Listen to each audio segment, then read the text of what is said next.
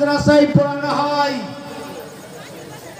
পারা নাম্বার তিরিশ, সুরা নাম্বার চুরানব্বই, আয়াত নাম্বার চার, সুরা ইনসান, লাস্টের আয়াত, ফাইদা ফারাকতা ফানসাব, আল্লামা জালালউদ্দিন সিউতি, তার লেখা যে হাফিদুল হাদিস, দেড়শো বৎসর আগে আপনার চোদ্দশো বৎসর আগ পরের কিতাব, আজকালের নয় দুই লক্ষ হাফিজুল হাদিস, উনি তার কিতাবে লিখছেন, এই দুয়াই সালাত, তোমরা যখন নামাজ পড়বে, দুয়ার মাধ্যমে শেষ করবে। জোরে বলেন, দোয়া করবে নামাজের পরে।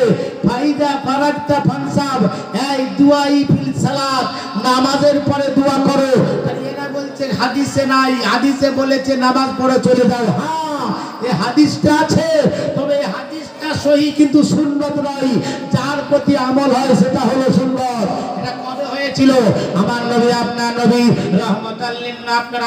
নবী নামাজ পড়া চলে যায় করেন নাই রসুলের কাছে বলে, ইয়া ইয়া হাবিবাল্লাহ। ওই করে না পালিয়ে ওই নকল করেছে। এই তো নবীর সাহাবী দোয়া করে নাই। হাদিসটা সত্য পূর্ব তারার মতো সত্য, কিন্তু সুন্নত বজায় নাই, সহি হাদিস সুন্নত নাই। ইয়া রাসূলুল্লাহ নবী কি জানেন নাই? এই নবী জানেন নাই? নবীকে জিজ্ঞাসা করে, নবী জানেন? ওই যে দোয়া ক- করেন নাই, পালিয়ে যায় নবী বলছেন জুইয়েলা তিলার দো ইন্নাল্লাহ জাবিলিয়াল আরদ ফারাইতুহু মাশারিকুহা মাগারিবুহা পিছনে কি করে আমি নবী জানি? আগে কি করে আমি নবী জানি? ডানে কি করে আমি নবী জানি? বাঁয়ে কি করে আমি নবী জানি? আসমানে কি হয় আমি নবী জানি? জমিনে কি হয় আমি নবী জানি? কায়নাতের খবরটা আমি নবী জানি। আমি দেখছিলাম কেন যাই? সাহাবীরা বারবার বলেন, স্কুলে এখন ছাত্র মাস্টাররা পড়ায়। যে ছেলেটা বদমাস, সে মাস্টার জানে না। হুজুর যদি আপনার মসজিদে পড়াশোনা করায়, আর যে ছেলেটা বদমাস, সে জানেন না। তারপরেও তাকে কিছু বলছে না। ছেলেরা বলে হুজুর ও আপনারই করেছে। হজুর করেছে। নবী বলে দেখি। তারপরে যখন বারবার বললেন নবী বলছেন এই শোনো। ইরশাদ বাবু শোনো তুমি নামাজ পড়ে দোয়া করো নি "হুজুর, নামাজ পড়ে দোয়া করি না কেন? ইয়া রাসূলুল্লাহ, ইয়া হাবিবাল্লাহ, বলবেন না বলবেন না। আমার বাড়ির পাশে এক ইহুদির বাড়ি। ওই ইহুদির বাড়িতে আপনার একটা খেজুরের গাছ আছে। ওই খেজুরের গাছটা আমার দিকে ঝুঁকে আছে। হুজুর আমার ছেলে আছে, বুড়ো আপনার বাচ্চা আছে, আমার মেয়ে আছে। কচি কচি ছেলেরা ফজরের পরে উঠে যায়। ওই খেজুরগুলো তাইলে বুড়ি খেয়ে নিতে পারে। আমি ফজরের নামাজ পড়ে চট করে যাই, ছেলেরা না উঠে যায়। খেজুরগুলো কুড়িয়ে কুড়িয়ে কুড়িয়ে ইহুদির বাড়ি পৌঁছিয়ে দিই জোরে বলেন। আমরা করি তো। আমরা পাক্কা মুসলমান দেখছেন যদি আমের গাছ ঝুঁকে থাকে ওই ঘরের ছাদে যে আকর্ষিত টুক করে পড়ে আর যদি দেখেলেই গাছের ফল দুটো খেয়েছি তো কি হবে? আমার ঘরে আপনার সাহাবির আদর্শ দেখুন ফজরের দোয়া করি না এই জন্যই আমার ছেলেগুলো বেলা হলে উঠে গেলে দেরি হবে বলে নবী নাকি করেন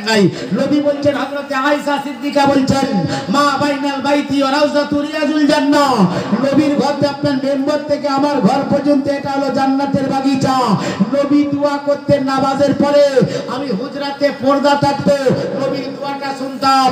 কি শুনতাম? আল্লাহ আনতাস সালাম মিনকাস সালাম, ওয়া ইলাইকা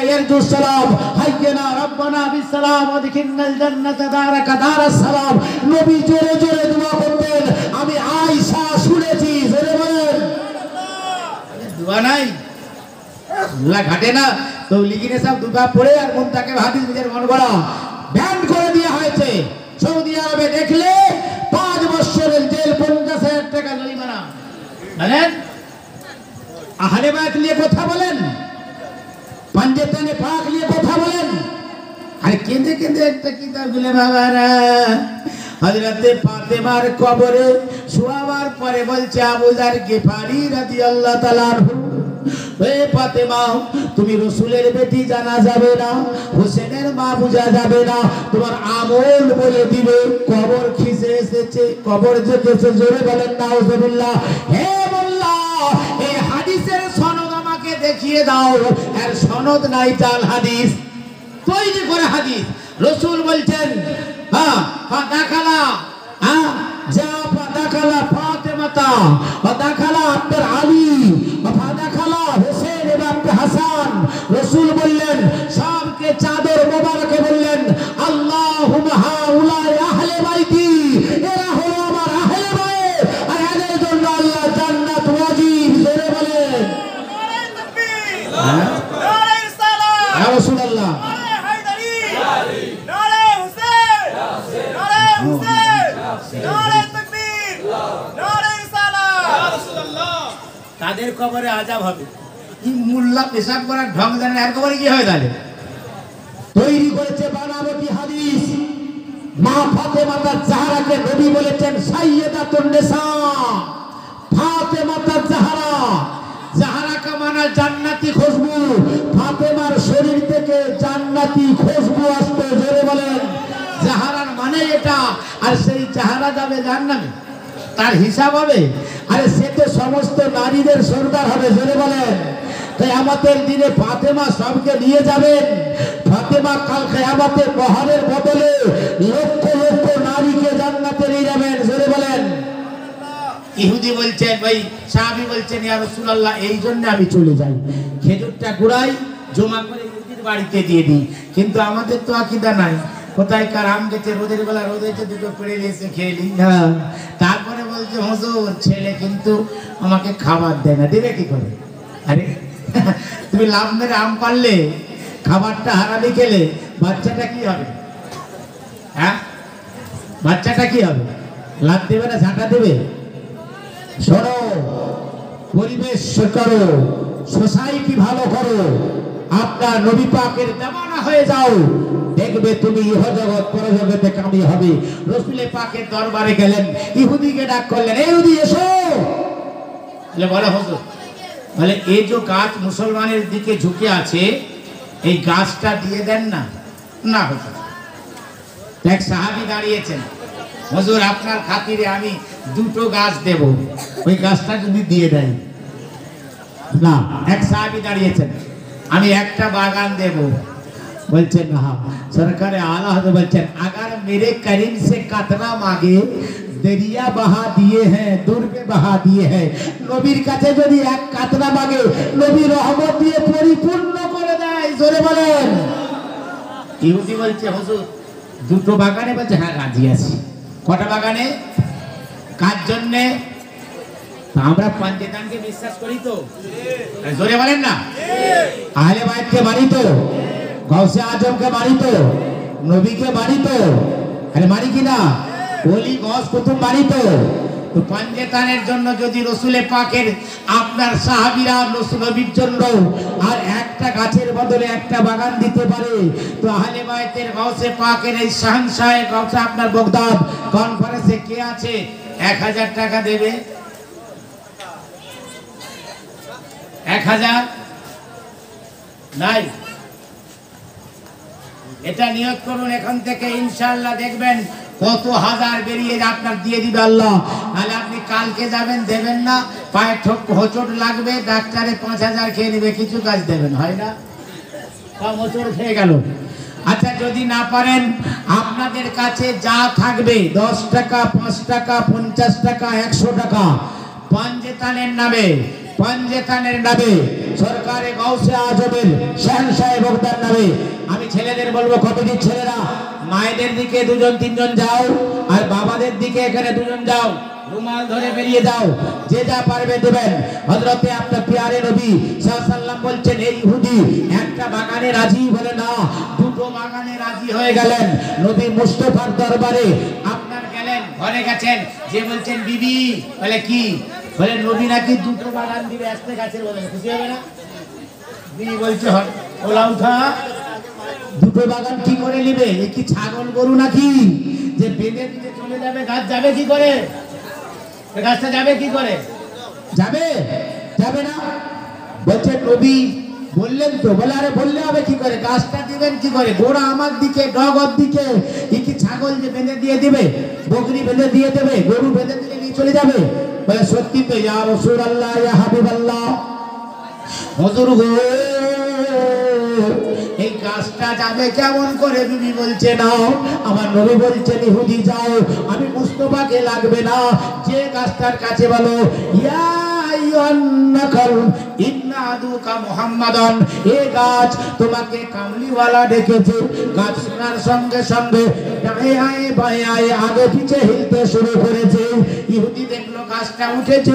মুসলমানের ঘরে পৌঁছে যায়।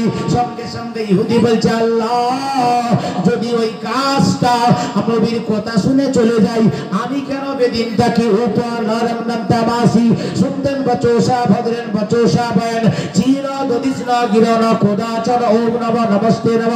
ইয়া রাসূলুল্লাহ, ইয়া হাবিবাল্লাহ কাজ যদি আপনার কথা শুনে আপনার ঘরে চলে যাই, আমি কালমা পড়ে মুসলমান হয়ে গেলাম। জোরে বলেন না।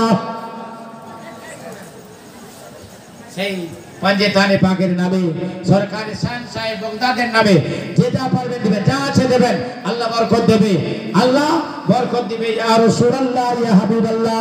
সরকারে গৌসে আজম মেহবুবে সুবারি আব্দুল কাদের জিলানী সরকারে বগদাদ দাঁড়িয়ে আছেন, সরকারে আবু সালে রয়েছেন। আবু সালে জঙ্গি মোসা রাদিয়াল্লাহু তাআলা আনহু আপনার হুজরা মুবারকে রয়েছেন। এই সময় একটা ভদ্র মহিলা এসে হুজুর আমার ছেলে পুলে হয় না, আপনি দোয়া করে দেন যাতে আমার বাচ্চা আল্লাহ দেয়। সরকারে আপনার আবু সালে জঙ্গি মোসা বলে তোমার তকদিরটা দেখি, তকদিরে দেখতে পাওয়া যায় না। আমার নাই? লেখা থাকলে তাহলে তোমার তেল লাগাতাম কেন? নাই বলে তো আপনার তেল আরে ভাই, বিপদে পড়লে পঞ্চায়েত প্রধান আপনার নেতাকে খোঁজ করে। আর যদি বিপদে না পড়েন, কে নেতা আর কে নেতা? কি হয় না? বলে হুজুর নাই বলে তো এসেছি। এখানে থাক। কোষ্টিগিরি শরীর নাম শুনেছেন? কোষ্টিগিরি? বীরভূমে? আব্দুল্লাহ শাকির মানে? উনি এখন একটি খাসি পুষতেন। নাম রেখেছিলেন দুলাল। কি নাম? দুলাল। তো খাসিটা পুষেছেন বড় হয়ে গেছে দুলাল বলে ডাকলেই চলে আসে সরকারি আপনার আব্দুল্লাহ শাকির মানি হজে যাবেন। মুড়ির দিকে বললে বাবা এই খাসিটা থাকলে তুমি দেখবে তোমরা খাসিটাকে খেয়ে নিও না। বলে, হুজুর, ঠিক আছে। উনি হজে চলে গেছেন, মুরিদদের লোক হয়েছে, পাড়ার লোকেরা ধরে সবাই করে খেয়ে গেছে। হ্যাঁ এত সুন্দর খাসি। হজরতে আবদুল্লাহ কিরমানি বাড়িতে এসেছেন, আসার পরে বলছেন, কি ব্যাপার আমার খাসি? বলে, হুজুর, আপনি যাওয়ার পরে আপনার মহব্বতে আপনাকে না দেখতে পেয়ে কোন দিকে চলে গেছে? বলে, বাবা, এটা পীরের দরবার। এটা আপনার আব্দুল্লাহ সাকির বাড়ির দরবার। বলো আমার খাসি কোথায়? বলতে আপনার খাসি কোথায় চলে গেছে? বলে বলো বলে কোথায় চলে গেছে? বলে তুই সত্যি বলছো তো? বলে হ্যাঁ। বলে দেখবে আমার খাসি কোথায় আছে? বলে দেখো নজর তো হজরতে আব্দুল্লাহ শাহ কিরমানি বলছেন এ দুলাল চল্লিশটা লোক খেয়েছিল। সবের পেট থেকে বলছে, ভ্যা করে আওয়াজ দেয়। বাবা, তোরা বললি খাসি চলে গেছে। আমি হজরতে আপনার আব্দুল্লাহ কিরমানি জানি জানি জানি। তোরা তোরা জানিস না। সঙ্গে সঙ্গে বলছে, বল, এইবারে কি হবে? আল্লাহ বলছেন কিরমানি তোমার একটা খাসি খেয়েছে। ওই চল্লিশটা লোকের পেট থেকে আমি আল্লাহ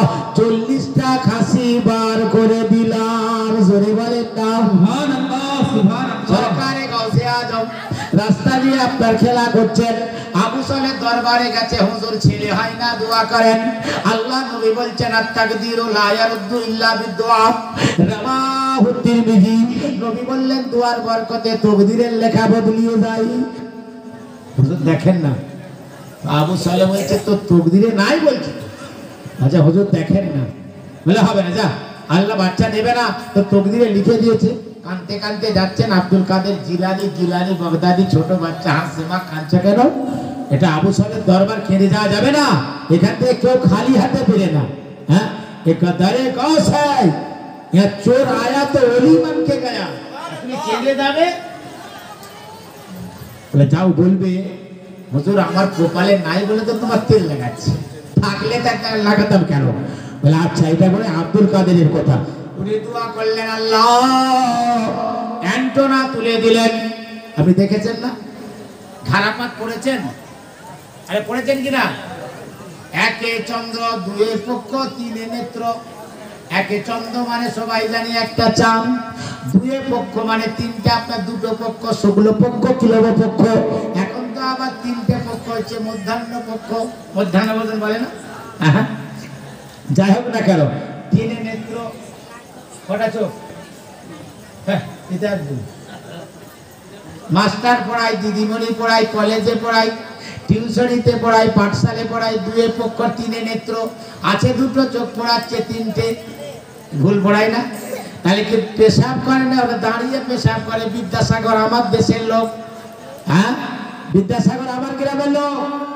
সেই বিদ্যাসাগর লিখলেন তিনে নিত্য। বোখারি, মুসলিম আবুদ আবুদ পড়ে না। হ্যাঁ? সে বলছে, তিনে নেত্র, তিনটে চোখ থাকে। যদি তিনটে চোখ থাকে, তো গৌসে আজম দুটো চোখ তো ইসমানি তিনটে চোখের দ্বারাই সঙ্গে সঙ্গে মায়ের পেটে আপনার থেকে কোরআনে পাক বাইশ পারা মুখস্থ করেছিল। এটা ছিল তিনে নেত্র, জোরে বলেন। যারা ইনকার করে, ওরা জানে না। ওরা পড়ে না বলে কোন কিতাবে আছে? হ্যাঁ পড়ো বন্যাতুল তালেবিন পড়ো। সিরুল আসরার পড়ো বাহিরাতুল আসরার পড়ো হাসত বা বেহেশত পড়ো, ফতুহুল গায়েব পড়ো, কিতাব পড়ে দেখো, আর আন্দাজে গুলি মারতে যেও না। গৌস পাক মায়ের পেটে, এখন বালক, এখনও রুহানিয়তি আছেন? মানে আলমের আপনার রেহমে আছে আলমের রেহাম, পেটটাকে বলে আলমের রেহাম। এই যেটাকে আসবেন, এটাকে আলমে নাসুর। যখন কবরে যাবেন, এটা আলমে বর্জা। গৌসে আজম বলে আলমে যা দেখেছি, আলমে আপনার এই রেহমে সেটাই দেখি, আলমে বর্জাকে যেটা দেখতে পাই, আলমে নাসুতে তাকে দেখি। আমার কোন মরিদ যদি পৃথিবীর জমিনে এখন থেকে ওখান আমাকে ইয়া গস বলে ডাকে, আমি তার ডাকটা শুনি, তার কথা শুনি এবং তাকে আমি সাহায্য করি, জোরে বলেন। গৌসে আজম বলছেন, বাবার কাছে যাও, আবার ঘুরে গেছে। দোয়া করলেন আল্লাহ একটি ছেলে দিয়েছে। ছয় বছর বয়সেরও ছেলেটি মারা গেছে? গস পাক বেশ বড় হয়ে গেছে। যার পরে গেছেন, হজুর, আমার ছেলে দিলেন তো মারা গেল। আমি এটা কেমন করে হয়, দিয়েছিলেন বা কেন মারা গেল? বলে, মুর্দা জিন্দা হয় না। কানতে কানতে চলে যাচ্ছে, একটি ভালো আলেমের সঙ্গে দেখা হয়েছে। বাবা বাগুনি বাপ্তার যারা সন্ধিপন্থী আলেম বলে শোন ও আব্দুল কাদের আছে না বলে হ্যাঁ ও জঙ্গলে বাচ্চাকে মরে যা, বেঁচে যা। মরে যা, বেঁচে যা, খেলা করে, বাচ্চাদের নিয়ে। ওদের মাঝখানে শুই দিবি? কোন বাঁচাই না? যদি ছেলেকে বাঁচাতে এ বিয়া তুমি হতে পারো বদনাম ছেলে, তুমি হতে পারো হতভাগা ছেলে, তুমি হতে পারো আপনার না নাফরমান ছেলে। আজকে মাকে একটা গ্যাসের বড়ি পয়সা জুটে না, এটা আমি আপনার রাগ করবেন, হয়তো আপনারা দেন। আমার দেশের কথা বলছি, যে মা ছয় ইঞ্চি পেটে, ছয় থেকে আট ইঞ্চি পেটে আপনাকে দুশো আশি দিন রাখল, তার ঘরের অভাব হলো না। ছ কামরা ঘর নিয়ে বলছেন, মায়ের টাকা জায়গা নাই, ওই বেটার ঘরে না আপনাদের কেন হয় আমরা শরীর লোক। হ্যাঁ? হয় না গো? হ্যাঁ? মা ছয় ইঞ্চি পেটে দুশো আশি দিন রাখল আপনাকে ফেলে দিল না। আর সেই মা বারোটা ছেলে, ছয় ইঞ্চি একটা ঘরে সবকে লালন পালন করল। ই ছেলে পয়সা হয়েছে, বলছে, বাবা, বলে, বুড়ি মায়ের ঘর নাই, বাপের ঘর নাই। হতভাগা, লাখ কৌশে আজমকে মেনে নেন। পাঞ্জেতানের দামান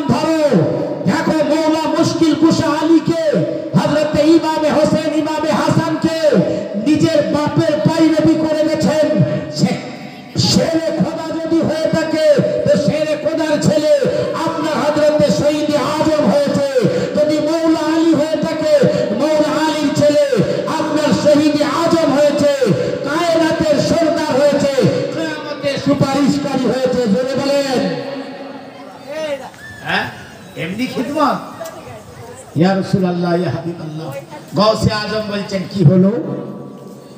আজম খেলা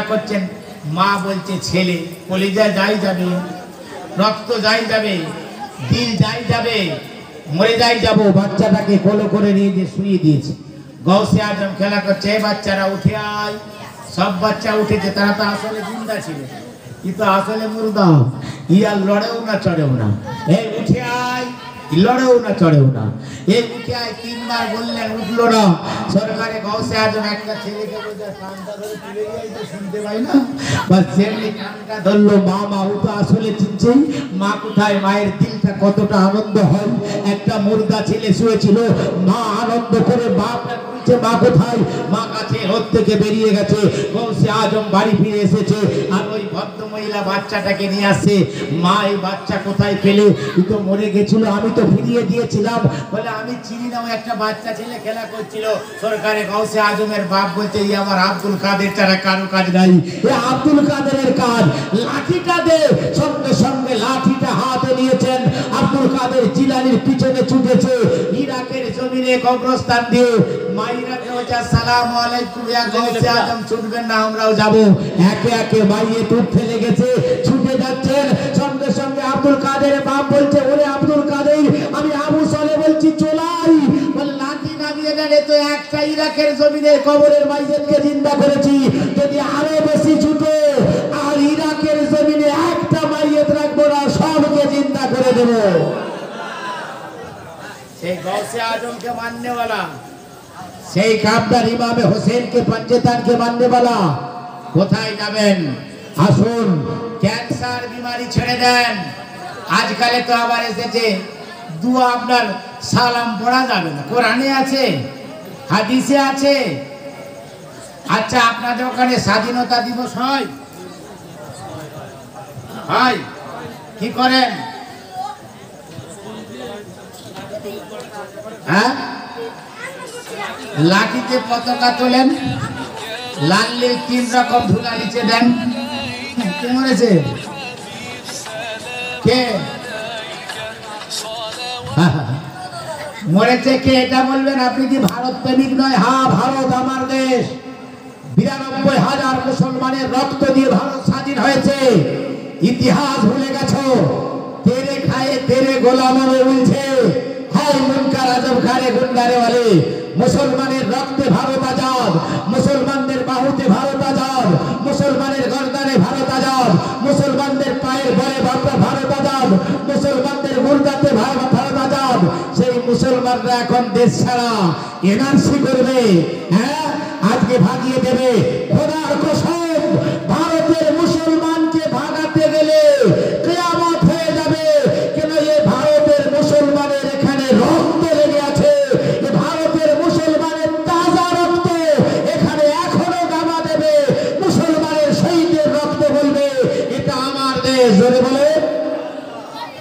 তাহলে কেন? হ্যাঁ বাদল, গিনেশ দীনেশ মতঙ্গিনী ক্ষুদিরাম, প্রবন্ধ, চাকি, মৌলানা শওকত আলী হাফিজ, মাসুম আলী, ফজলে হক নিশান? জান দিয়েছিল তাদের স্মরণে, বাহ, ভালো জিনিস। ওরা ভারত স্বাধীন করেছে, ওদের শোক, ওদের জন্য দাঁড়িয়ে তাদেরকে আপনার স্যালুট জানাচ্ছেন, শান্তির আপনার বার্তা দিচ্ছেন। বড় বড় যদি তোমার আকিদা হয়, ভারত আজাদ করলে জন্য দাঁড়াতে হয় বৎসরে দুবার স্বাধীনতা দিবসে আর হচ্ছে প্রজাতন্ত্র দিবসে। আপনি দাঁড়িয়ে যান, নিজের বিবেককে একবার লাগান। যারা হচ্ছে ইসলামকে জান দিয়ে বাঁচিয়ে গেল, যারা ইমানকে জান দিয়ে বাঁচিয়ে গেল, যারা